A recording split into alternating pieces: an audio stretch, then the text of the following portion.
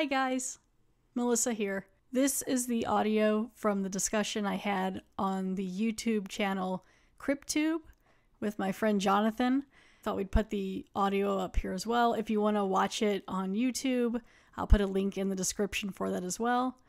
But yeah, that's uh, that's what this is. So I hope you enjoy it. I talk about a bunch of things, like a little bit about the job I do in real life, a lot about Tales from the Crypt. We talk about horror movies. We talk about Gus, who's right here, the podcast. Hi, Gus, come here.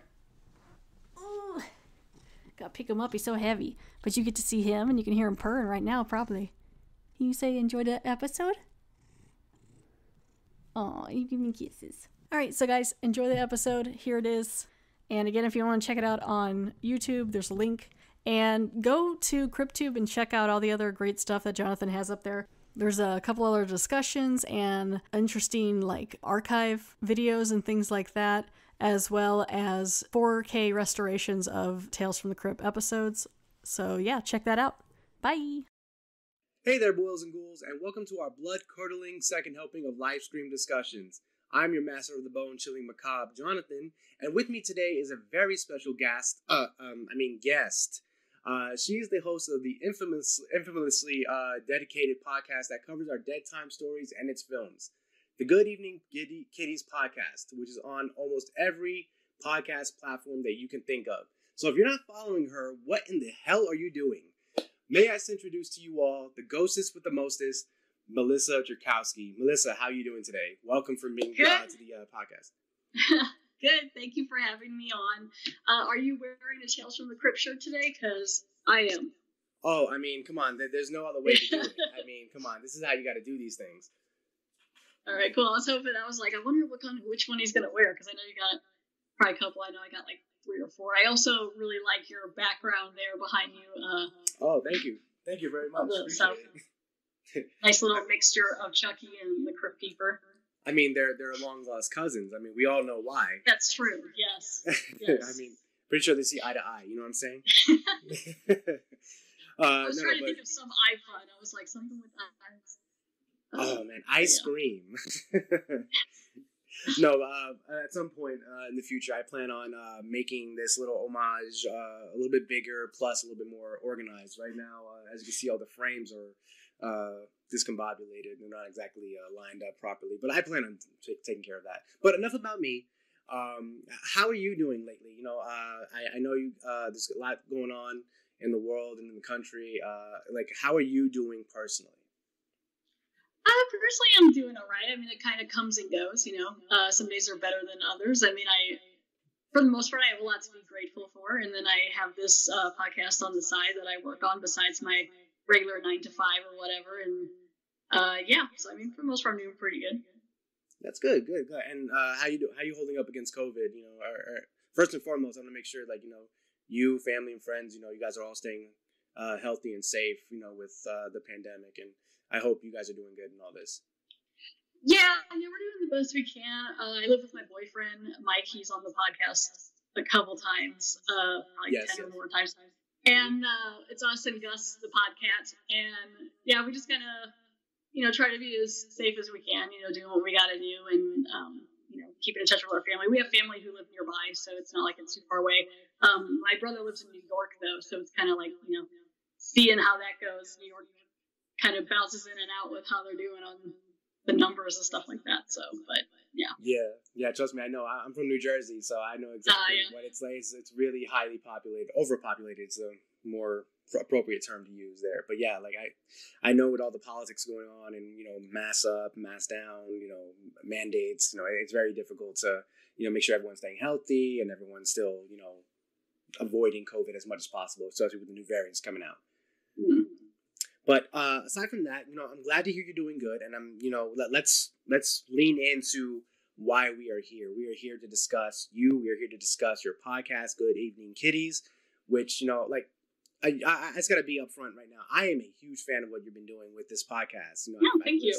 Like when I first got introduced uh, to your podcast, you know, I had to play a lot of uh, backtracking so I had to go to like you know your first few episodes and listen to some of those, and you know uh, up to the and I don't know if uh, everyone out there is uh, aware, but you know Melissa uh, humbled me by having her on the podcast with one episode to discuss Demon Knight. So Uh, yes, it was it was awesome. Yes, yes, it was. We had a good time.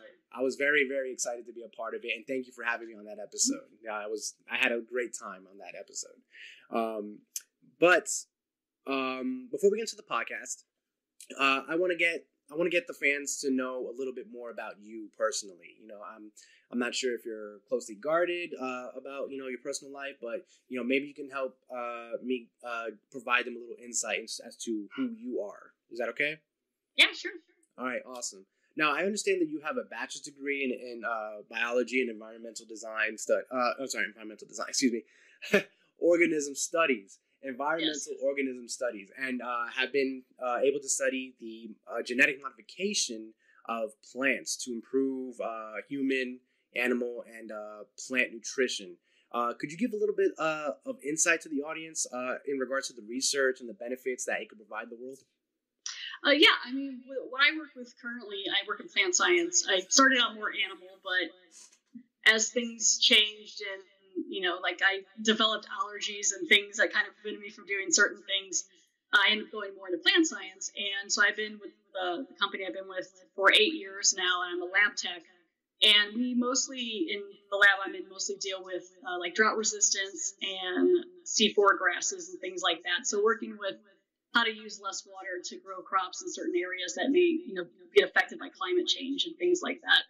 So that's kind of what we work on. And then I um, test different types of crops, uh, like like corn and soybeans and stuff for different elemental compositions in order to kind of figure out you know where we can go from there for different labs and things like that. So yeah.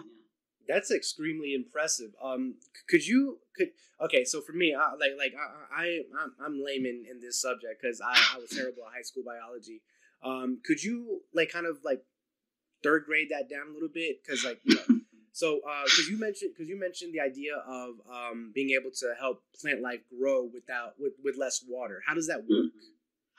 Well, there's certain types of plants that kind of there's certain grasses and things that can you kind of play to their strengths. Like you study them and break them down. And I have we have different things and like work with different other labs and stuff um, that can kind of view the plants and what they're made of and like take that and then whatever plant strongest. It's kind of like with um, I guess it's similar to kind of like if you if you breed a dog a certain way right. because you want it to have a certain trait. Like you get a cat or a dog that comes out that's got little, you know, extra toes, and you want to bring that on. So you'd be like, well, I'm going to play to that and keep using that thing. So you like you find these grasses and other plants like cassava and stuff that can be grown in different types of situations based on where they come from or you know whatever, and then be like, well, how can I use that to kind of keep it going and like spread the word and let other, you know. The, the place I work, it's like just a bunch of different labs that do all kinds of different things. So um, everyone just does a little bit of everything. Okay, okay, so th- that that makes a little bit more sense to me. Um, uh, I don't I don't know if you know, but like I kind of look more into nutrition for uh, what we intake nowadays because I, I like to I'm like kind of like an amateur bodybuilder. So um, yes, I like to look at the pictures of your food sometimes. if you put when you're like in service or whatever, and you'll post, it's a lot of food, man. Yeah, I mean, trust me. In order for the body to grow properly and healthy, you got to eat the right way. And uh, you know, I, have been trying to make sure I've, I've been doing that uh, to the best of my ability. Um, so I'm glad you're enjoying the pictures uh, in that aspect. Um, but um, I know for a fact that when it comes to uh, daily intake of nutrition, uh, when it comes to what we eat, um, one of the biggest things is eating green. And you know, uh, I know for a fact that when uh, those who diet with uh, who have a high diet of beef or, or meat, poultry, anything of the sort. Um, a lot of our uh, agriculture plays a big part in that, and it goes into um, the animals that we do eat. So, like you know, cows, chickens, like like they eat our they, they eat agriculture, and you know that fuels them and feeds them. That way, we get stronger and more healthy um, meats. Um, that being said, based on the research that you're doing, um, would that cause somewhat of a discrepancy with that kind of um, nutrition? I'm not too sure with that one. I mostly, I think we mostly deal with like human nutrition, not necessarily by giving it to other animals, but just like um, impoverished countries and things like that. Especially, I think with our cassava project, it's to help teach other countries and things how to grow that in their area because the cassava has more nutrients or more carbohydrates than any you know other like rice or something they may be eating. So it's more that kind of stuff and straight into meat production. Okay, okay, okay. So yeah, I mean that that just answers all the questions that I, I was was gonna answer uh, ask you. but um, all right, all right. No, that that makes it so much more simpler. Um, that is great research, and I I can't wait to see uh, the fruits of you know your labor. Like hopefully it allows us to learn to be able to eat healthier and you know causes plant life to grow in a much uh, healthier rate, uh, especially with climate change because climate change is a big thing nowadays. Yes. You know? So uh, good luck to you and your uh, in your uh, research for that. Thank you.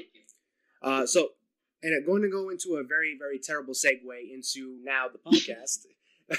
um, paint us a picture. Uh, what was your experience like when you first stepped into the catacombs of the crypt? Uh, how did you feel about the show, or even the Master of Ceremonies when you first uh, saw the franchise?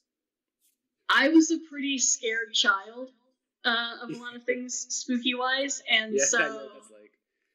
when I first noticed the show, you know, on HBO or wherever I would see it for like syndication, um, I was pretty terrified of the Crypt Keeper. I didn't mind the stories themselves. I don't really remember a lot offhand when I was younger, but I do remember being afraid of the beginning and the end of the episode because I knew the Crypt Keeper would come back, and I didn't want to see it. So, um, you know, you try to like either cut it off at the end or you know whatever. Um, yeah, so yeah. So it wasn't until like I was more of like an early teenager and later when I started getting into horror movies and things like that. And then that's when I started, you know, watching the show more and getting into it better that way. It wasn't until like late teens. Uh, I, I can't, I, the story you just told me is like very, very closely relatable to mine because I, I, I was terrified. I think, I'm sorry. I think a lot of people were afraid of the Crypt Keeper. I think that would catch yeah. a lot of kids off of it. Yeah, absolutely. I mean, the Crypt Keeper, I mean, like, some people can easily embrace certain horror characters, and it's almost like it's natural to them. And um, what I've noticed, at least in my experience, uh, I was tormented with the Crypt Keeper. The moment I first saw the Crypt Keeper, it was terrifying. And then I had my brothers and sisters to, you know, thankfully uh, continuously jab me and poke me with that fear. So, uh, were they older? Yes, they were. Okay, see, I'm the oldest out of me and my brother, so if anything, it would be me doing the opposite. But since I didn't want anything to do with it, it's like I didn't have yeah. it coming from all ends like you did. I'm oh, sure they loved scaring you with it. Oh yeah, absolutely. I mean, like you know, they would hum the Tales theme. You know, they would do the cackle.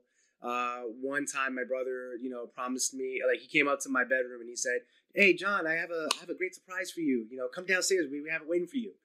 Covered my eyes, brought me downstairs, and then the moment the crypt keeper pops up on the TV, you know, he opens my eyes, he goes surprise, and there's a crypt keeper on the screen cackling, you know, wildly, and you know that just helped me pro- help provide nightmares for about 15 years after that, because. Uh, uh, I didn't get over my fear of the crypt keeper up until high school, where I slowly uh, started, you know, exposing myself to like Google image searches and you know old videos. But just yeah, it wasn't until I became a teenager where I actually started to uh, take my fear and make it into an obsession. So I, I completely relate on that, and that's that's a great story that you have. Mm-hmm. Um, now, in regards to that fear and turning it into an obsession, right? Uh, you were able to take that fear and translate it into your podcast, Good Evening Kiddies. Uh, can you tell me what you hope to contribute to the platform uh, for Tales? Mainly i think i wanted to just remind people out there that it's it was around. Uh, it's starting to get where it's what like 30 35 years that it's it would spin off. Um, and just to kind of remind people that it was there and like also just you know because other act all kinds of different things actors have been in it all kinds of different directors have been on it. And you know some people just with this new wave of of kids and teenagers and stuff just not really listening or like knowing about it. And then for people who have to kind of bring back those recaps of even the episodes that the ones are familiar with and the one that's, ones that they're not, which is one reason I like to add audio clips into my episodes because even if you've never seen it, it can kind of set, you know, it's more of a chronological way through the episode that you can be like, oh, you know, even if I've never watched this, I kind of get where it's going and what's happening and, you know, things like that.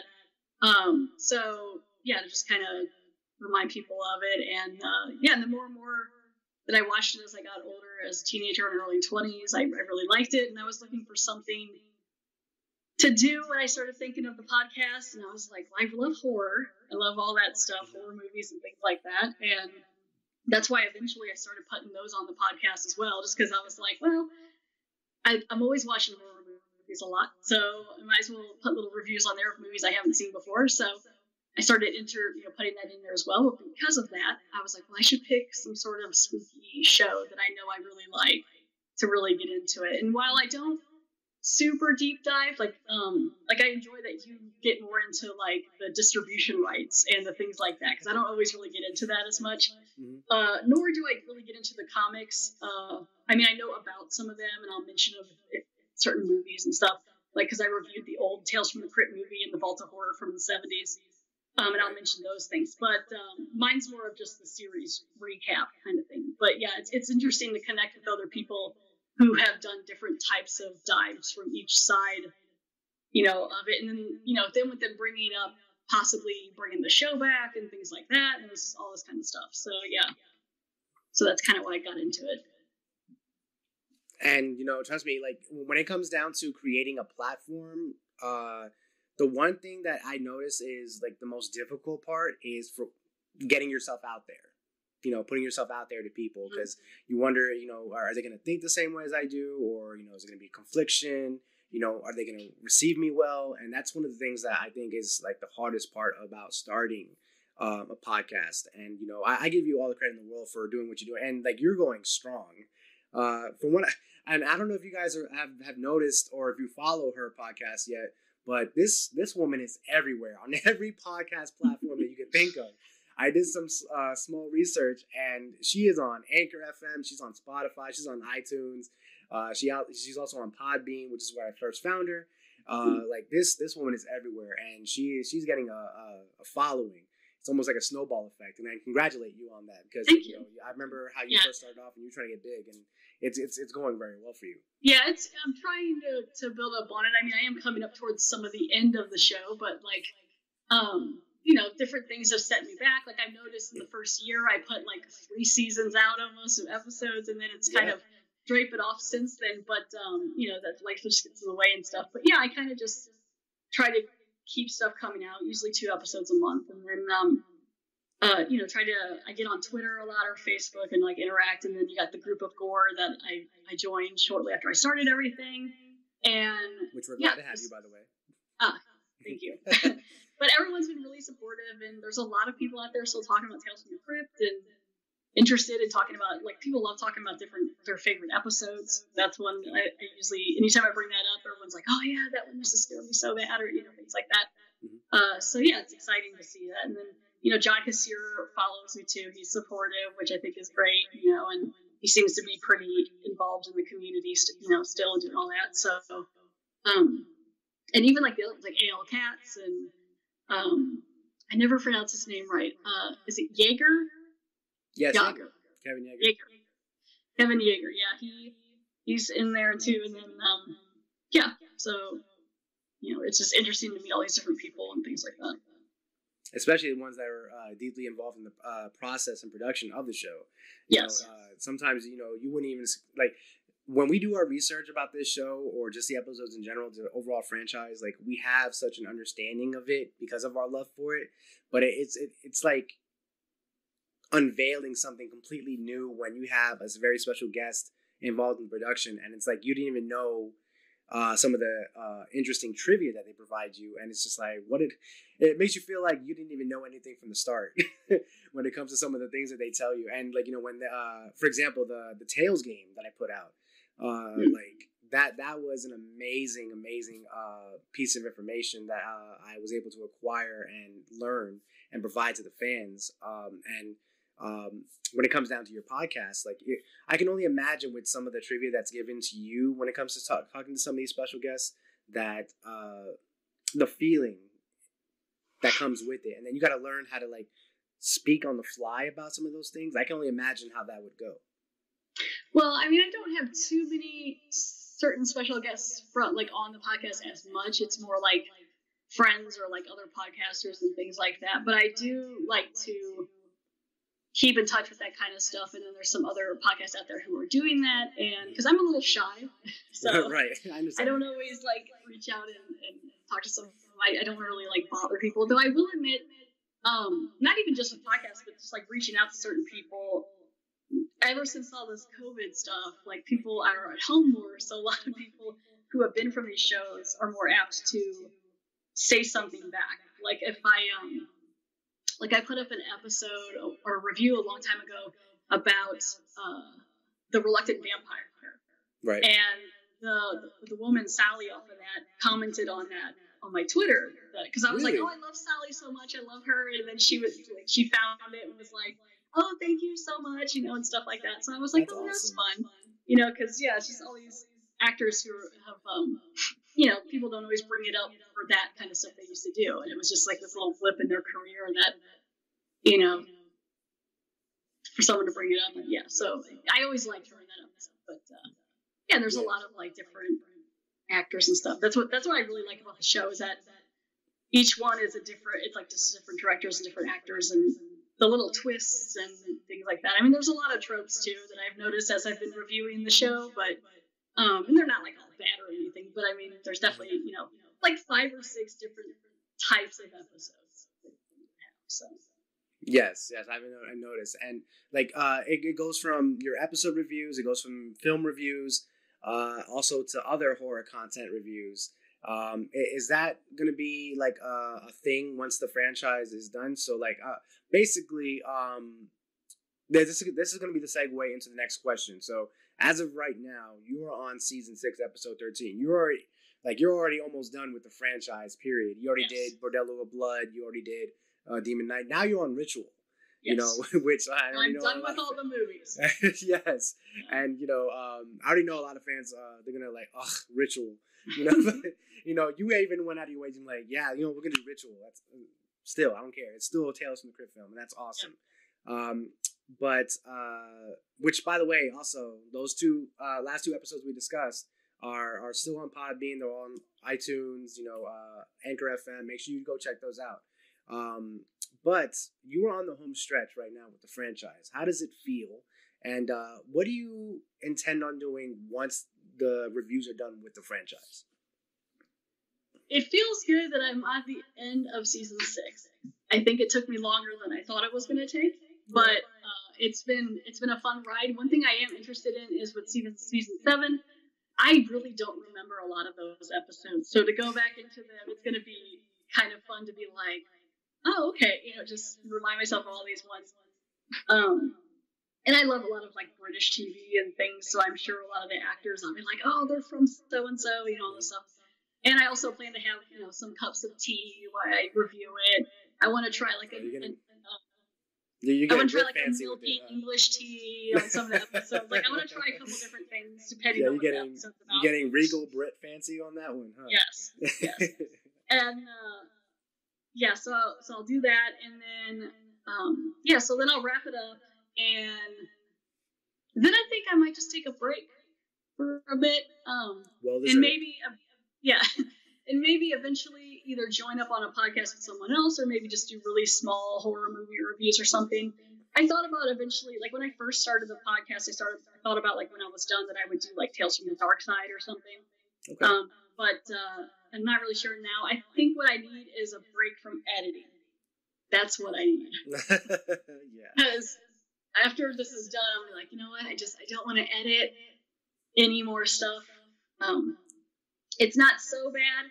It's just I'm a bit particular about my ums and my sniffs, and many times I say, um, you know, I say that a lot, you know, and um and all that. So, and then I got to plug in the audio clips and things like that. So it takes a, a, little bit of time, and I have a hard time sitting still. I think so. Um, so some of the, you know, that's why most of the episodes I think are usually, you know, between 20 and 40 minutes, depending on what's going on because uh, I just I, I can't get through any more of that. Uh, but uh, yeah, so that's basically what I would be doing. But I would still be involved in like you know the the different Tales from the Crypt sections, and I would keep my Twitter going and things like that. Like, and I'm I'm going to keep the podcast up you know, and stuff like that for a while. And maybe every once in a while throw something out there. But I'm also considering too at the end when I finish season seven, I may even do a few episodes where it's just like these were some of my favorite episodes. These this is an episode all about my least favorite episodes. You know, here's ones I would recommend. You know, just a couple different things at the end. Oh, so but, you got a uh, WatchMojo thing going on, huh?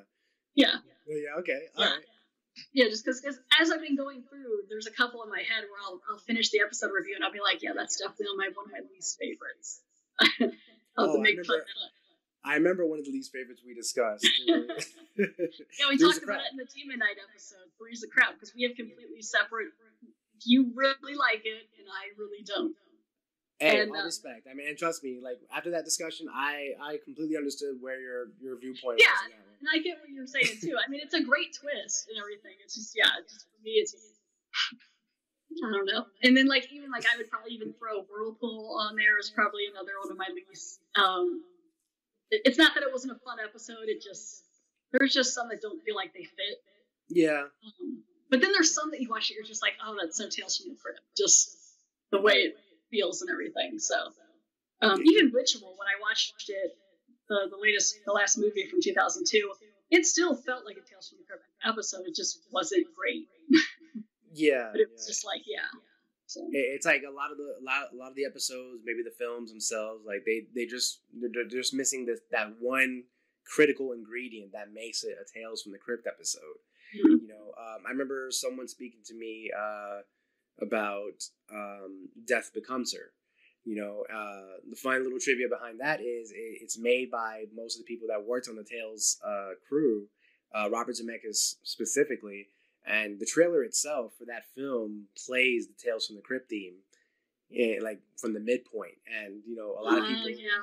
a lot of people don't realize that that was also a Tales esque uh, type film, especially with the premise. I mean, if you watch Death Becomes Her, it could oh, be a Tales yeah. film uh, it could definitely be a Tales film. But uh, again, uh, this person also felt like there's one critical ingredient that's missing from that to be a full blown Tales film. Uh, which I I definitely agree with that person uh, when it came down to that. But uh, do they know what it, that critical ingredient is? Uh, I they're saying it's more just like a feeling.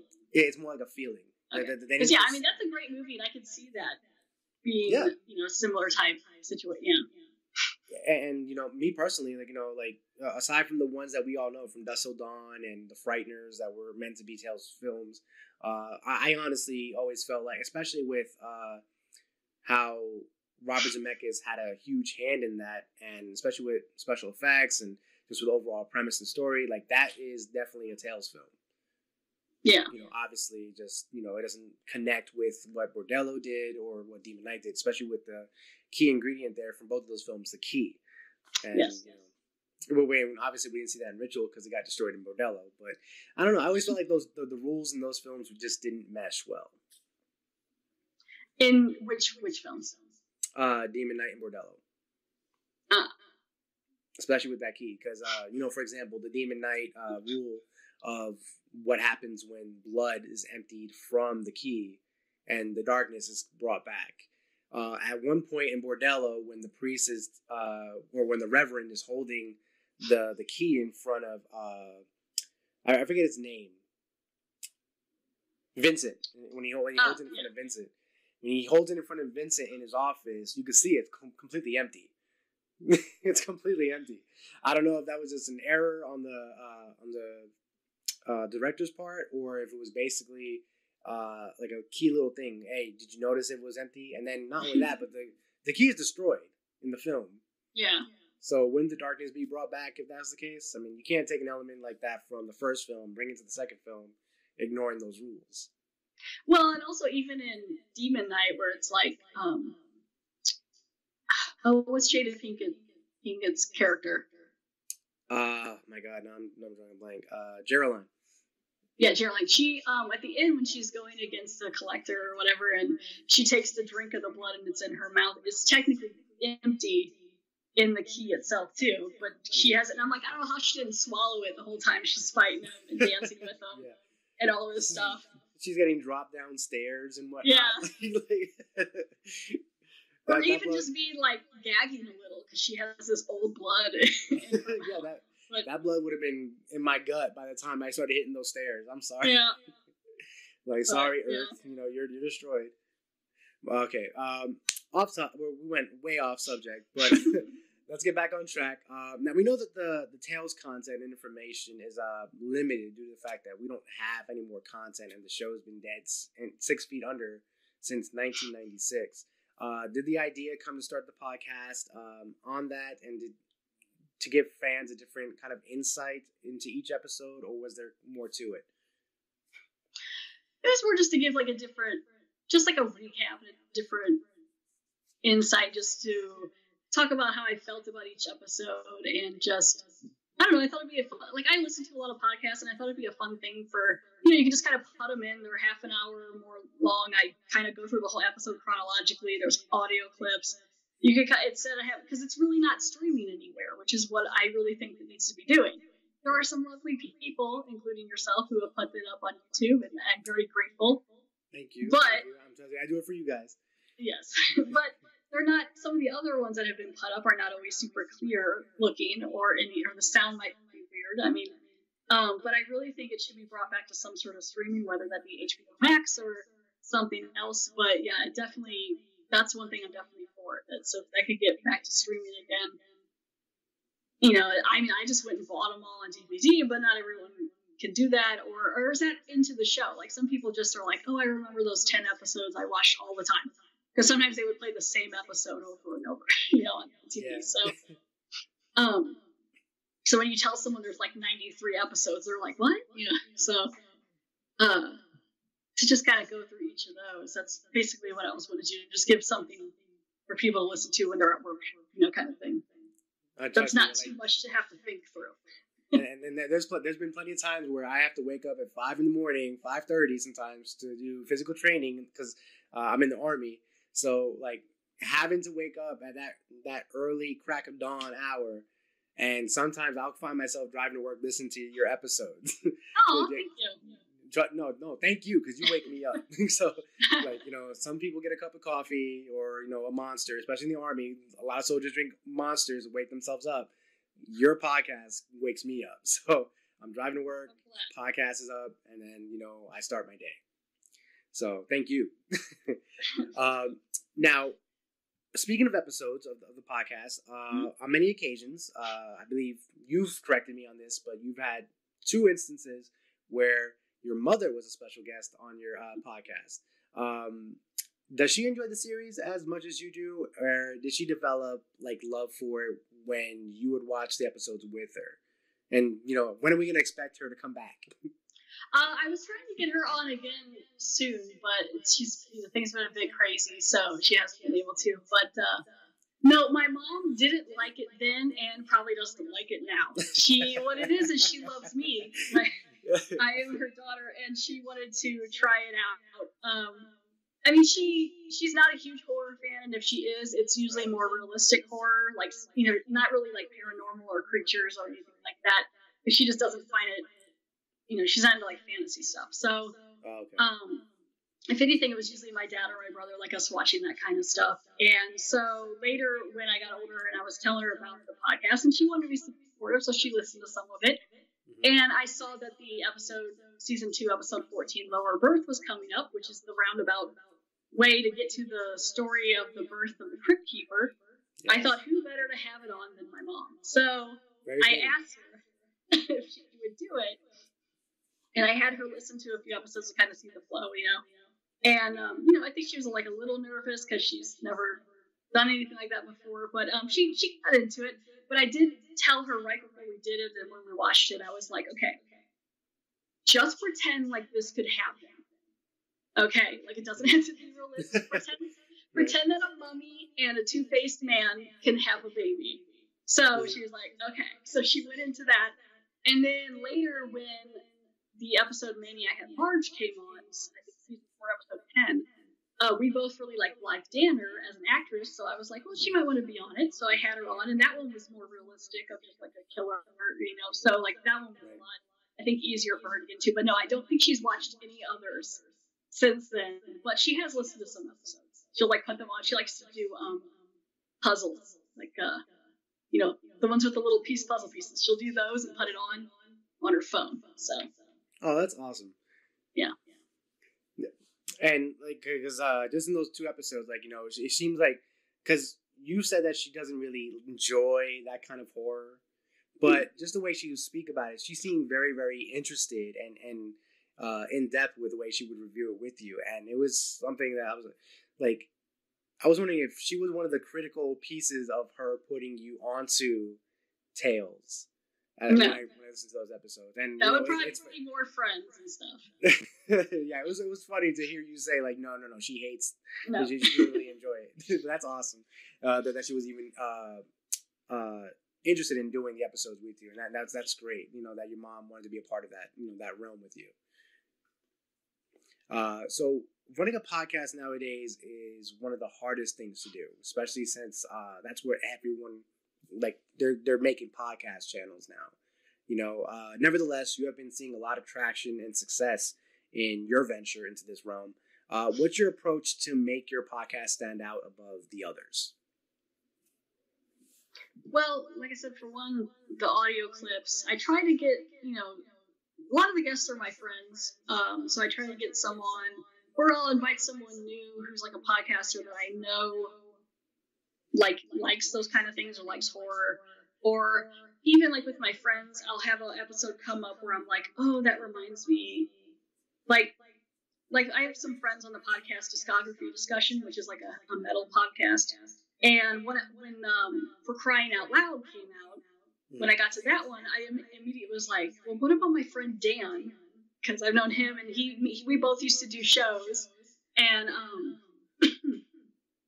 so I had him on so we could talk about music and stuff like that. Because like I used to play music, like um, I I wrote the music for the podcast, like that. That's what I threw together with like you know a drum machine and synthesizer and stuff like that, and then um, even when I my movie review podcast, that's an old song of mine. So like the the intro and the middle part. So like I just kind of threw those on there. So um so I do that. I Twitter after like a year or so, year or two, and I've been doing that a lot, which Twitter's been pretty great. I get back on Facebook and do things with groups and things like that. Um, I try to make it kind of fun, especially lately. I noticed past couple years I try not to overthink it. So like if I want to put something silly in it, I'll just do it. Um, so for instance, in my uh, I think season five, episode three, Forever Ambergris, when I'm in that one, there's a scene at the end where um, the woman is having sex with the guy, knowing she's like infected, and then they're both gonna die together. Yeah. And when I was yeah. editing it, when I was editing it, that song, uh, that "Oh Me So Horny" song, came to my head, and I was like, "Should I do it?" And I was just like, "You know what? Do it." So I put yes. in a clip of that in there. Like I'm just, you know, like little things like that, where I'm, you know, or I had one recently where it's something about um, Abe Lincoln, and so I threw in the clip from Robin Hood where they were like, "Hey, Blinkin" or whatever from Robin Hood Men in Tights. So I love that movie yeah, so I mean, just if it comes to my head when I'm editing, I'm like, yeah, why not go for it? Or like if there's something I want to cut out, I find that I'm a little more lenient to leave it in.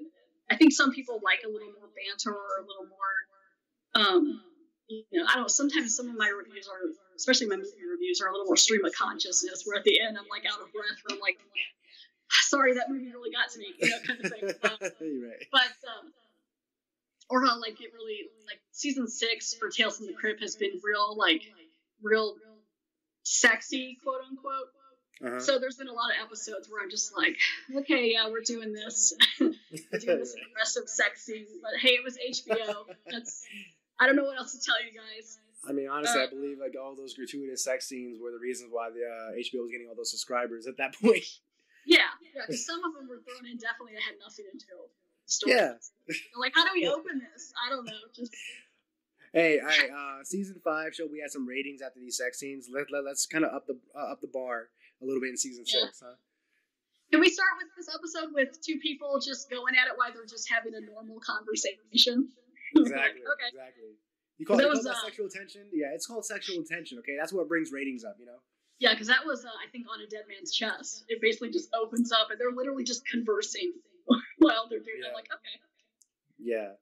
So but yeah, so that's like kind of like how I just stay into it. Like I keep up with people like you or like other people. There's some other podcasts and, and people that are getting involved, and I know like if you brought up the stuff with the distribution rights, I've been kind of looking at that a little bit because the whole thing is like it was supposed to bring they were supposed to bring it back. Was it Shyamalan they were gonna have? Yeah. Do it. TNT. And then that fell through. And I'm more one of the rare people who I don't want it to come back, but that's me. A lot of people are like, "Woo, bring it back!" Um, and the reason for that is today I know. Okay, so movies and TV shows keep getting reboots, right? Yes. Mm-hmm. And it's never as good as it used to be. If anything, it's just a fan service where you're like, "Yep, I remember that." You know, like I remember how that made me feel. So I'd rather just go back and watch the original thing. I also wasn't not that I I'd like Shyamalan fine. His movies can be a little hit or miss for me, but I want it if it's gonna come back, I'd want it to be similar to how it was, where you have different directors for each thing. Like they kind of did that a little with Creepshow. I don't know if you've seen the Creepshow series. Um, they brought back, yeah. So I watched the three seasons of that, and again, it, it was very hit or miss for me. There were some really good ones, but then there was also a lot of like, this one's a lot like Night of the Living Dead from George Romero, and this one's a lot like this, you know. And it was just like, just bringing up stuff that you used to know that like, I don't know. I just have a feeling that there's so many shows and things, and there's so many people making very unique shows and new shows and it's like I feel like they focus more on that. I'm not saying we couldn't maybe do with another season or two of something, but if they're gonna bring it back for Tales from they need to also stream the old stuff. Yes, uh, I completely 100 percent agree with you on every single thing that you said. Uh, when it comes down to the uh, the revival of the series, uh, I I wasn't fond of what I was reading about when it came down to the TNT series mm-hmm. and the reboot there. Uh, I was I was way I was I was open minded at the idea of what they were gonna do, but I wanted to see what they were gonna give us before I made my complete call on that in terms of judgment. But um, just based on, especially when when the idea came up about where uh, they were gonna talk about bringing fans in into the whole concept, where they're gonna, hey, hey, if you're a Tales fan, send us some of your stories as to what you would want to see in terms of a Tales episode. Sounds like a good way to cut costs. Yeah, exactly. So they weren't going to hire right. I mean, they, they maybe hire ghost writers in a way to kind of you know zhuzh it up a bit. Yeah, I mean, basically that whole uh, that whole Crypt Keeper pun from um, uh, which which season uh, season three episode was it? Uh, For which man, which pun? Uh, morning Mournin' Mess. Oh, morning yeah. mess. You know the the Crypt Keeper pun about ghost writing. You know was going to be playing full effect here uh, when it came down to this reboot. And you know, like nowadays, production companies are always sitting on nostalgia. You know, they they they, they want fans to feel that that original feeling they had when they first used to watch these things as young adults or kids, and they want to make it relevant and more pertaining to the current generation in a way. So they wanted to get 50% demographic of nostalgia fans and 50% of the new generation. How do we get them together? Uh, based on what I know so far of what that series was going to do, I, I, I didn't have high hopes on it. I was going to that with low expectations. Uh, but yeah, um, if they if they brought it back, especially with like the original series was meant to have an eighth season. You know, a lot of people don't know that, but um, if they were going to do it, you know, I I strongly would suggest that they decided to bring it back in the HBO um, way of doing things back in the original series, and they decide to bring it back that way, they need to make it an eighth season. If they decide to go the other uh, route and make it an original, like, homage to the original EC comics and do it a little bit more like the EC comics, then they would really need to make sure that they're paying attention to the EC fans on that one, mm-hmm. because the EC oh, yeah, fans, yeah. They they're they're they're yeah, they're extremely they're extremely devoted. Yeah, because uh, I belong to a group of that too, and some of those guys, those comic like they know what they're talking about. Yes, yes they are. They are very strong experts in uh, what EC Comics did from the early get go before entertaining comics uh, became entertaining comics when it was education comics and all that kind of stuff. And then, uh, you know, so and, and, I already I already saw some of those forums right where EC Comics fans are just like some of uh, actually more so a lot of them don't really enjoy the HBO series. You know, especially with the Crypt Keeper portrayal. Like, but you know, hey, to each their own. You know, uh, but needless to say, there is also a strong fan base for what the series did, and you know, they, if they're gonna do it, they got to do it right. Well, and also even with just graphics and stuff, like the, in the '90s show, that you know, '89 through '96, there's a lot more practical effects, and I just worry what they would do in the future episodes because, like, say they were gonna do Shyamalan, right? I don't know if you saw it. I watched that movie Old, you know, that mm, he made. Yeah. And I'll usually I like giving his movies a try. Some of them are really fun. I like the twists, you know, things like that. So Old was fine. Okay, whatever. But it, when I first started the movie, I saw it was rated PG 13, and I was like, oh no. Because I was hoping it was going to be like a body horror thing. So right. then the problem is they do all these graphics or whatever, but then they don't show anything. It's all like pulled away. And that's what I'd be kind of afraid they would do because if it got on TNT or someone where somewhere where they weren't allowed to show as much, you know, body horror or something like that, they would just pull away from the camera or cut it short. I mean, because even in the in the series on HBO, there are some really cool scenes that you really don't see anything, but it's enough. But then there are also some scenes that really stick with you, like Forever Ambergris, where he melts apart, you know, in the tent, or um, you know, just some, or even like the walking corpse until death. Like that was a really good scene, you know, just stuff like that. So I mean, how would they cut corners with that, and how would that look, you know, stuff like that. So I that's part of it. Because yeah, some shows that I've watched where they bring it back, sometimes I just don't even bother to watch them again. but if they do, I'll be like, oh, I'd rather just go watch the other stuff. But I mean, I'm not gonna like poo-poo all the reboots and stuff because I mean, I know. I mean, some people still really like them, and I, I mean, I did go see Halloween Kills or whatever. Um, in my opinion, it was terrible. I'm ready. I'm ready for it to end. Um, Halloween, the Halloween one in 2018 was okay. Like it was fine. Right. And then Halloween Kills just. And so now that Halloween Ends is coming, I'm like, please, can it? Is that really going to be the end? Uh-huh. It's wrapped. I don't need 70 year old Michael Myers trying to kill, you know, 70 year old Jamie Lee Curtis. Um, just and they're in retirement homes, just trying to kill each other. Uh, but you know, but I can get into some of it. I mean, there's been some good remakes, like the Evil Dead remake. I thought was pretty decent. Um, took a little different spin on it and stuff like that. But um, but yeah, it just I it just kind of sometimes bothers me when it's like someone would be like, "Oh, do you want to watch Black Christmas?" And you're like, "Well, which one? The '74, 2006, or the like 2019?" yeah. You know, so you're like, it's just I don't know. So yeah, just, yeah, now we're getting to a point where like reboots or remakes are getting remade again. You know, yes. but you know, like sometimes like you get the first remake, right? That is set, you know, and it's it's almost supposed to be similar to the original, but it's its own thing. They kind of change a few things, and then you have the remake after the remake where it's a remake of the first remake, but it's set after the events of night of the 1974 Black Christmas. You know, like it's like yeah. ten years after.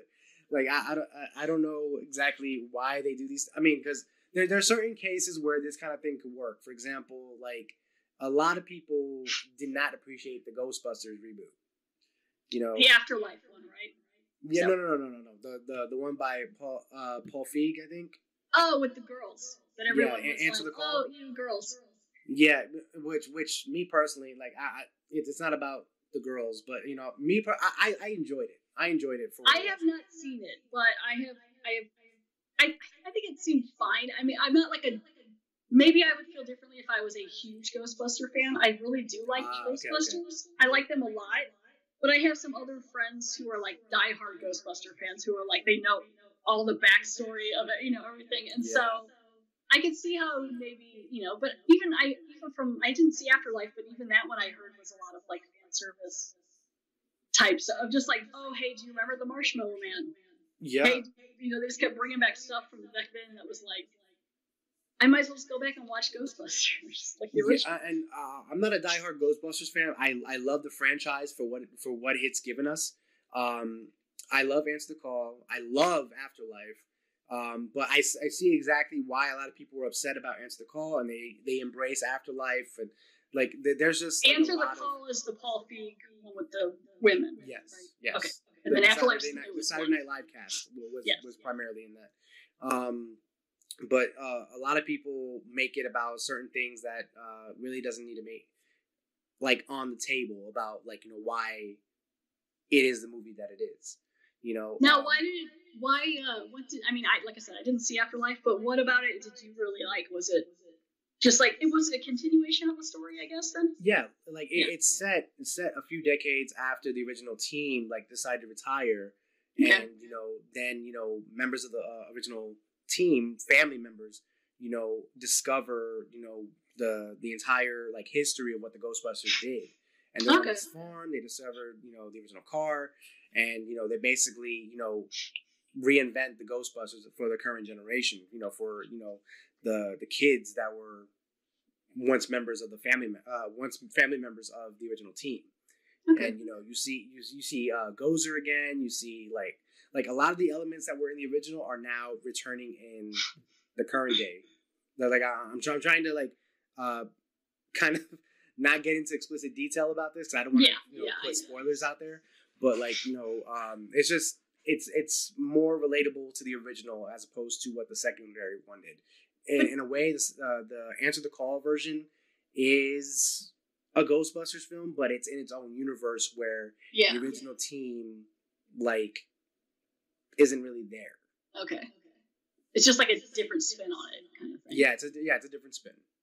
Yeah, so like with Afterlife, the, the thing that I would like, I mean, that sounds great, but like, I do remember like the trailer and things that I've seen or whatever. Um, because like you know, you got you got the original Marshmallow Man in the first one or when it's first one, right, but then when they bring him back in the Afterlife, he's like this little cute CGI little squishy thing, and so that's like that's what I would be afraid of with Tales from the Crypt. Like they would take, say, they take the creature from the ventriloquist dummy, which was this amazing puppet, and they turn it into this little CGI type thing. Hang on one second, Gus is at the door. No problem, no problem.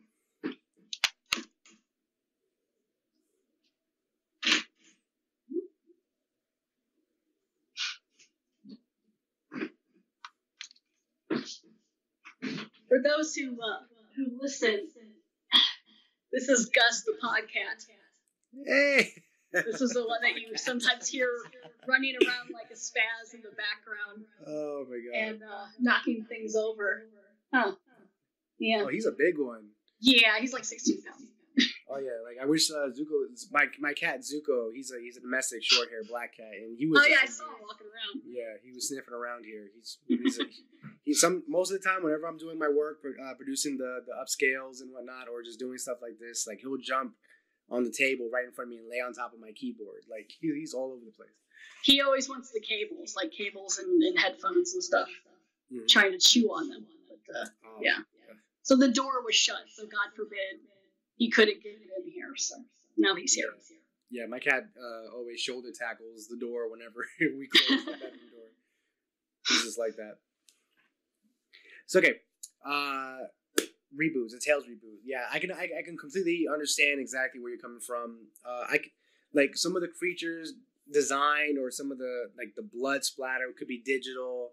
It like practical effects is a key thing when it comes to a Tales episode. Uh, the, the idea like, like the idea of the crypt keeper possibly being a CGI pu- uh, CGI instead of actual animatronic puppet. Oh yeah, sorry. I thought I saw a tail. Yeah, yeah, there, there he is. The moment Aww. of discussion. What's up, buddy? And what's his name? Zuko. Zuko. Oh. Zuko, can you say hi? he's like. I just wanted to sneak around. I didn't want to be no, on screen. You know, he's he's very camera shy. but uh, yeah, I can definitely uh, 100% agree with uh, your viewpoint on that because like a lot of people don't enjoy the idea of seeing their their childhood kind of like skewered, you know, and well, and if you're gonna bring it back, then do it right. Yeah, yeah, and that's what like, we talked about. That if they could do it then, why not do it? You know, they did it in the '90s. Why not do it now? No, I, I mean, would imagine some of the, tale, the the stories would maybe have to change a little bit. There are some, some tropes and things that are in the original series that I don't feel would quite fly in 2021, 22. Uh, uh, but yeah.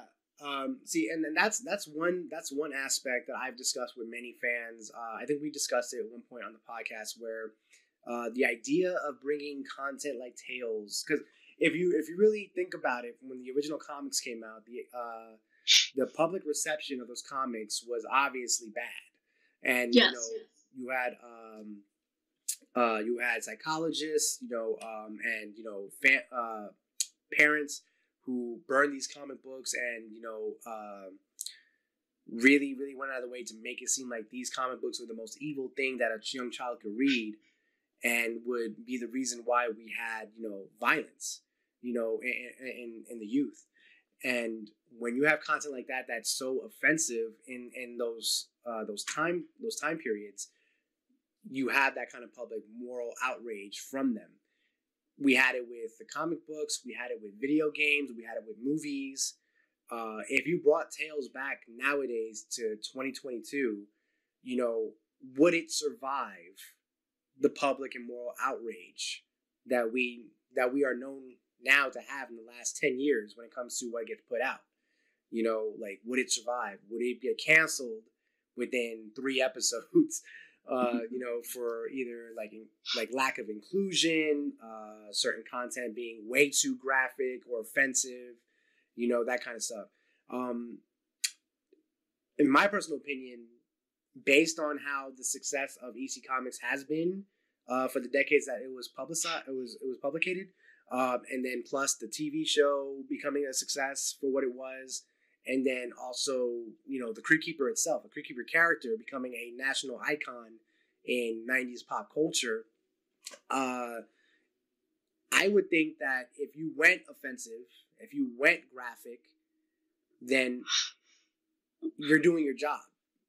Like, like, like, like that. That would be the whole purpose of you know the whole Tales franchise. It's meant to push your buttons. It's meant to. Yeah, it's supposed to make, shock it's supposed to shock and scare you to the point where you're questioning things or to the point where you are talking about it. Like if you're talking about it, like the show is doing its job. The franchise is doing its job. So Yeah.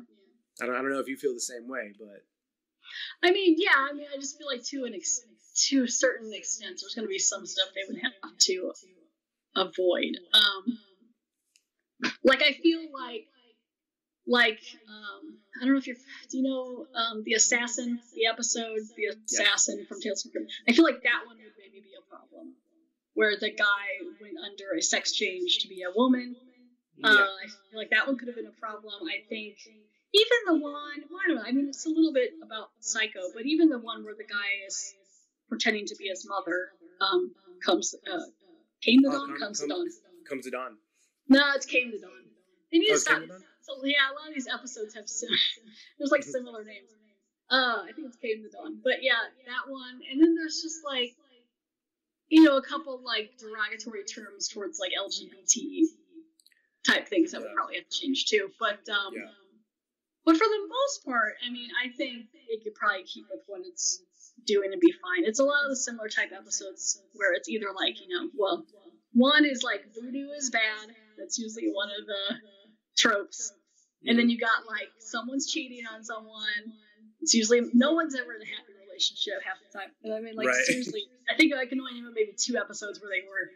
Um, money. It's usually money, or um, uh, then there's like the fun like body horror type weird ones, you know, like right. um, ventriloquist dummy things like that. Like I think some the, if they did some of the creature ones and stuff, that would be pretty fun. But if they're gonna make them look good, you know, kind of yeah, yeah. Which you know, like I said, it's all about CGI. And, you know, you said it's CGI as well, and then practical effects is taken out of the out of the the budget there. You know, they they think it's cheaper to go CGI as opposed to practical effects, which I don't I don't truly understand. Maybe it's because I'm not in Hollywood production, you know, to know what what the uh, difference in terms of budget is. But you know, I don't. Well, I think really even if you even if you blend it well, I think it could be good because I know like I mean, I've seen a lot of horror movies, and there's some people out there who are still doing practical effects, which is great. But then there's some people who've been kind of blended a little bit, where it's like you can't really tell the difference. But then sometimes it's not based on what it is. Like, um, have you ever seen 2015's Krampus? I have not seen Krampus. Okay, so just to like, know, it's it's really a great movie. It's really fun. Uh, it sets the the scene of being real bleak and cold, and it's it's fun. Um, there's this great kind of puppet of this Jack in the Box that can swallow kids, and it's terrifying. But then, and that's done more like practical effects. But then there's these little gingerbread dudes that kill people that are not there's more CGI, and it, it pulls you out. Like it looks, they look really cartoonish. And I can see like I mean they were still kind of cute, and it was fun because they have like little like peppermint sticks that are like little swords, you know, and stuff like that. But like right. after seeing the the Jack in the Box, you're just like, wow, that's so crazy, you know. And then so um, just things like that. But yeah, I definitely am more for practical effects. It's why I really like um, like 80s horror and things like that. There's always a lot of that kind of stuff. And even just like giving jobs to people who do practical effects, it's hard work. Like yeah.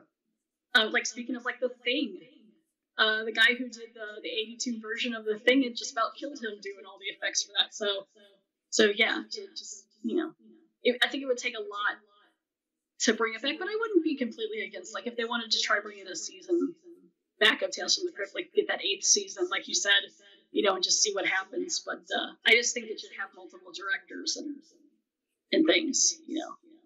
Yeah, because I remember uh, TNT was talking about like one season of the revival would be one single story put out in multiple episodes, which mm. you know that right there was a turn off for me the moment I read it. yeah. Was, like like that's not that's not what Tales is. I mean, at least like like how would you be able to actually flesh out multiple EC comic storylines, you know, in one season where it's episodic, you know? Yeah, that sounds more like they'd be trying to be more like American Horror Story than like Creepshow. You know? Yeah. So.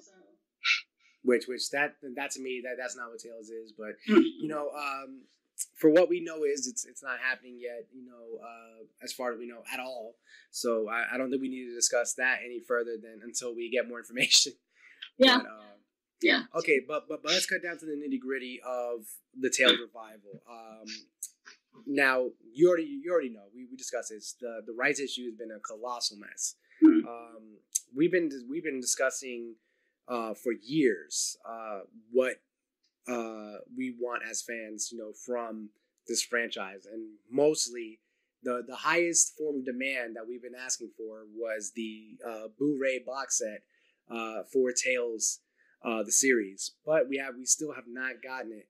Um, hopefully, we do get it sooner than later, especially since uh, you know right now the the rights from Tales from Crypt Holdings has been uh, phased out. So hopefully, we do some do see something sooner than later. Um, but what I want to know is from you: uh, if a Tales revival happens, what give me a grocery list. What do you want to see from that revival? I think it would be neat to if they kept with the the whole thing of like yeah they used celebrities but a lot of the celebrities they used were kind of in the beginning of their careers some of them so it'd be nice to kind of use it as a platform to push new people in the horror genre or even not in the horror genre because i think some of the ones that are more comical having you know like having bobcat Goldthwait and things like that, and Don Rickles and all that, it, you know, made it kind of fun. But I definitely want to see like more, you know, creatures, different creatures, different weird twists. Um, you know, a little more of like a mystery. It doesn't have to be too intense, but just like enough to where it would maybe sometimes throw me off. For people who have seen a lot of horror and horror shows, sometimes it's easy to predict certain things. Right. And so by the end, you're like, yeah, I figured that was going to be it. But uh, to have a couple every once in a while, like not, you know, kind of actually shock you would be cool. But and then definitely different directors for each episode. Not necessarily like the producers or even you know stuff like that, but just to have someone give it different visions on how they do, you know, different things um, and playing to their strengths and whatnot. You know, um, female directors, things like that. You know, all that. So that's kind of where I'd like to see it. And then hopefully, you know, maybe they will do the Blu-ray. They can bring it out for Halloween this year, since they got the the rights out. That'd be pretty cool. I mean, we're all waiting on that one, that announcement. Yeah. So hopefully, but uh, yeah, I mean, a lot of what you said, you know, you know, is on the on the chopping block for me in terms of like, you know, what uh, I would want on the list as well. You know, but you know, I, have already I've already made a video on what I would want and what other fans would want. So I don't think we need to cover uh, my perspective on that one. Uh, so that, I don't know, like what's, a, a what would what would be what's one of the main things that you definitely would want to see? One of the main things, oof. Uh, like deal breaker if they don't put it in there, or don't. You know, yeah. Oof. Oh my god. Um, if se- uh, if season eight were to happen, or just Tales revival, um, if they bring back the Crypt Keeper, it needs to be a puppet. It, it needs yes. to be a puppet. I agree. Uh, like the the puppet itself. I mean, like it doesn't even have to look like the HBO Crypt Keeper. If they're gonna go puppet and they're gonna make it look more EC Comics themed and and relatable to the EC Comics uh, depiction of the Crypt Keeper, you know, it has to be a puppet because the puppet gives, and forgive my pun, it gives life to, to the character. You know, um, just imagining a person, you know, in, in robes because like we, we've seen that before with the Amicus films. Um, mm. I don't I don't really think they knew exactly how to hit hit that properly when it came to making it. Uh, I, I, guess I guess he was the Grim Reaper of that of that of that film. Um, because you know he didn't hit the puns, he, he didn't hit uh, that uh, that presence that the Crypt Keeper would have. Yeah, and, he was more of a guy. Yeah, yeah, like, he was he was just more like a guy, you know. Uh, and but when it comes down to the revival, if the Crypt Keeper is a part of it, then I, I need to see a puppet of some sort. Uh, whether it be the HBO Crypt Keeper uh, brought back or it has to be, you know, more uh, closer to the EC um, depiction of what the Crypt, what, the, what the Crypt Keeper is. Uh, and if they do well, bring back about... the HBO. Hmm? No, go ahead, go ahead. No, and I was going to say that if they do decide to bring back the HBO Crypt Keeper, uh, you know, it has to, like we have to have Kevin. Well, yes, because Kassir obviously is going to voice the Crypt Keeper. I mean, it had that's mandatory. But I I need it to be Kevin Yagher's puppet. Mm-hmm. You know, I, I like the the the puppet that we got since Kids WB with the sci-fi promos, Secrets of the Crypt Keeper's Haunted House. That's not Yagher's puppet that yeah. they used. So if they ever bring it back, it has to be Kevin Yagher's puppet. Is that also similar that other puppet? Like, because I prefer the one like Yagher's puppet where it's you know the eyes move, you got the the the it, the skin moves. It's a little more like descriptive and um, expressive. But then when I watched Ritual, they have this intro, and it's basically just this creepy looking creeper sitting there, barely moving, and it's just him doing a Jamaican accent, and it just seems like it's more of a prop than anything. So I'm like, yeah. I, I was like they just set that one up on the side and moved its mouth a little bit, and they were like, "Here we go." Yeah, I mean, I, I don't know exactly because like there there's not much uh like set photos of what the new Crypt Keeper puppet or the yeah. recent one looks like on uh, like in its animatronic skull or like under uh like the latex mask that it wears.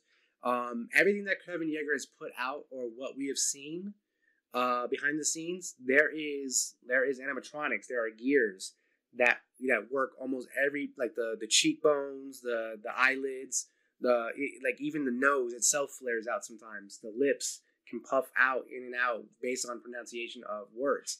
You know, there was a lot of um, detail that was put into the animatronic skull itself just to be able to show the Crypt Keeper's expression when it comes to a lot of, especially when you see a lot of the close-ups in his segments. Mm-hmm. You know, in this in the show, like sometimes you're just like, oh my god, that looks way. Yeah, I'm always. Like, I'm always commenting on, especially like the way he has like this little cheekbone that kind of shows through on the side. Mm-hmm. That I always think is pretty neat. Yeah, and like um, when you watch the the Crypt Keeper since uh, Secrets of the Crypt Keeper's Haunted House, and you know since all the way to FearNet's New Year Shock and Eve special, like it's it's not the same. So mm-hmm. like you know, uh, and if I recall, I believe I read something where the new Crypt Keeper puppet is just completely computer based. The, the, the only thing that the only thing that is being um, fluid in terms of movement is there is a puppeteer behind the Crypt Keeper's chair working his arms. Like there's gloves, uh, synthetic uh, synthetic, but gloves. not the face. No, no, the face is completely computerized. Like mm. you know, mm. like it's there's a program that they have plugs going into into the Crypt Keeper's head, and that hmm. is what controls the animatronic facial detail. But the puppeteer himself, he's behind the Crypt Keeper um, with like a, a, skeleton glove that looks like the Crypt Keeper's hands, and you know, you see him doing all these hand movements and whatnot to make the Crypt Keeper look a little bit more lifelike. But aside from that, like that that's about it. And and sometimes when you see the new Crypt Keeper, I mean, actually, scratch that. Any Crypt Keeper puppet you see doesn't actually have arms. But when, when, when but when Kevin Yagher makes a static Crypt Keeper uh, puppet, it does have arms, it does have legs, it does have a torso. But most of the time, when you see the Crypt Keeper animate himself, pun intended, um, uh, you see that there is actually somebody controlling his arms by puppeteering, and they have like a synthetic arm. Can you see it from the front, or is it more just like if you go behind the puppet, you can see it? Like, can you tell that there's a guy? Well, if you if you look at some of the, uh, I don't know if you have the official archives by Digby Diehl. Um, they actually show uh, diagrams of how they make the Crypt Keeper work. They they show the puppeteers, you know, they, they show a diagram of the puppeteer behind him. Here's the Crypt Keeper working the arms, and then there's another puppeteer underneath him uh, for any other other additional movement.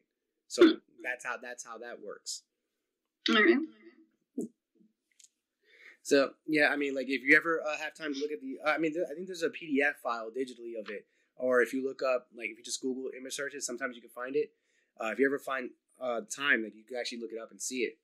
Uh, actually, I think I have the archive right here. Let's see if I can find it really quick.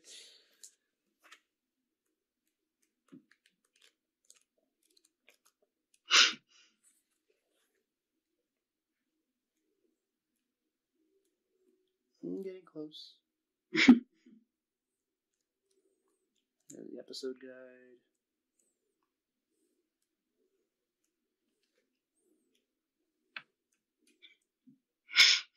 Ah, here we go. Okay, yeah, I just found that picture. Yep. Okay, I see. Huh. I mean, I guess that's one way to do it. I mean, does it look okay from the front? I mean, absolutely. I mean, when you watch the episodes, I mean, can you tell? Okay, so this is what they did in the episodes from the the nineties. Yeah, same exact concept, right? And not only that, but you also see some screenshots of the Crypt Keeper's animatronic skull, and okay. one of the puppeteers actually behind the Crypt Keeper. Hmm. Yeah, I mean that's fine because yeah, I always thought didn't it take like it takes like up to I thought sometimes it took like four people or something to work. Seven. Seven. That's right. I knew it was like a couple. one of the uh, one of the puppeteers, uh, Brock Winkless, uh, who sadly passed away. Rest in peace to his soul.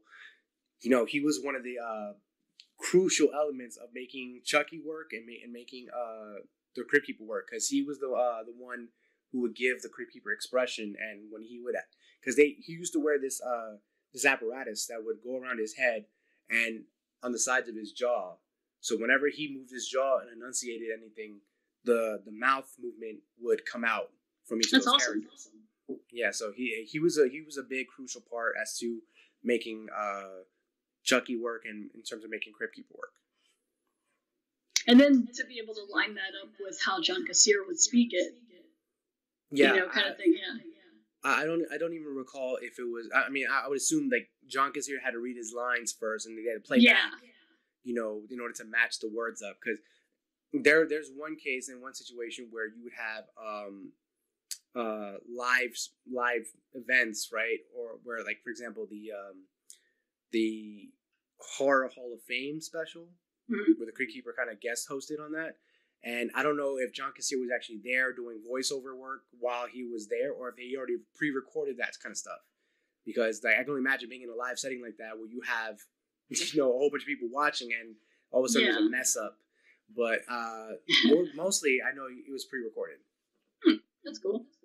Yeah.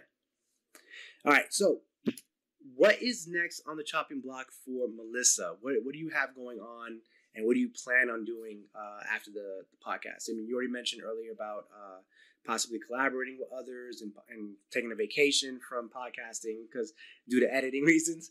Um, but you know, uh, is there anything else that you know uh, you got going on for yourself in the future? Uh, I mean, just basically that. Know, just more like horror movie stuff. I mean, if I do collaborate with someone, I like I said, I, I the editing, I'd rather they edit. you know, I'm like, I'll do all, the research. That's fine. Just I just I just need a break from the editing. But I'd also like to once all this, you know, if we can get something um, with this like pandemic getting past, like I'd like to get back into musical theater or theater in general. Okay. Uh, one thing that kind of like like after like 15 years, I used to do in high school, and after like 15 years or so, I got into I was in a production of Chicago in 2019. Oh, very nice. It, yeah, it was really fun. And then that kind of started slowing down some of my episodes. But um, but then like you know the next year we were supposed to do Mamma Mia, and then everything hit, and just, everything's just been like shut down. So I've done some voiceover stuff, and I've done like you know some script readings and stuff online, but that's pretty much it. You know, so hopefully you know once all this is done and I have a little more time and stuff, I'd like to get back in the theater. So.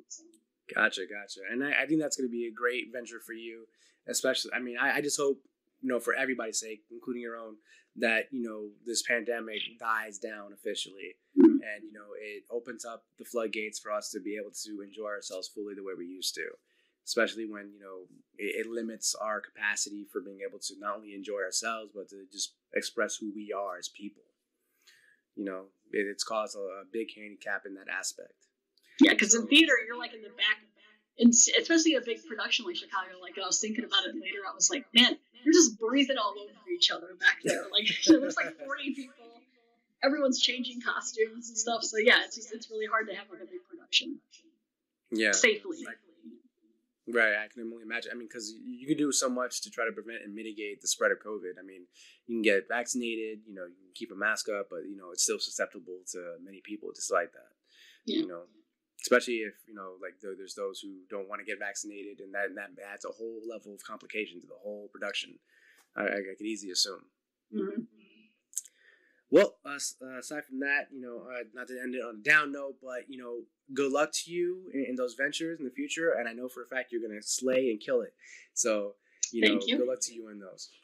All right, so uh, we're gonna wrap things up now. Uh, I just want to thank you, Scary, much for uh, being a part of the episode. You've been a great, great guest.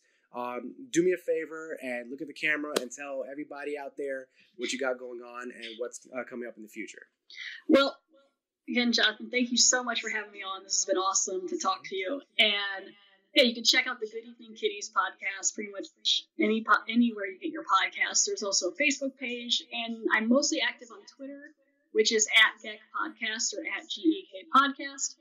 Uh, there's also an Instagram page for the cat, Gus the Podcat. It's at a sweet cat named Gus if you want to do that. But yeah, you can find the Tales from the Crypt reviews and horror movie reviews uh, at the Good Evening Kiddies podcast on Podbean.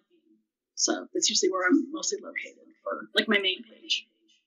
Awesome, awesome. And by the way, guys, make sure you check the description box right here in this video. That way you can check out all the links. They will be provided. So in case you guys want to get a quick link, subscribe, follow her. You know, it's all going to be in the description box. And oh, oh. also, oh, what you got? Well, I was just going to say, also check out Jonathan on my Demon Knight review episode. You should put a link to that in there too. no, no, hey, hey, listen, listen. I'm trying to plug you in, okay? I'm trying to reciprocate. all right, so oh, and don't forget, guys, tonight at 9 p.m. Central Standard Time, we got Dead Wait premiering in Gore K format. All right, so don't miss it. All right, all right. Oh, oh and also, uh, we also broadcasted uh, another episode of Reanimated Tales from the Crypt Keeper. So make sure you check that out. In the future, there will be a, uh, a new Saturday morning reanimated Tales from the Crypt Keeper. That way, you guys can have your bowl of cereal and get the pants scared off of you every morning. Okay, get your PJ scared off. So that being said, I want to thank you guys for all joining us again. One more time, Melissa. Thank you for being a part of the episode. Thank I you. really, really am grateful that you were able and humbled that you were able to join us. Thank you so much. Yeah. And with that said, I want to give you guys all uh, a thank you. Thank you for joining us and have a good fright.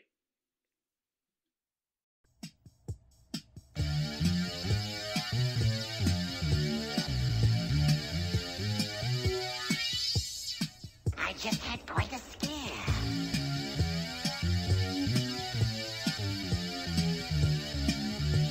I actually thought my heart was beating again.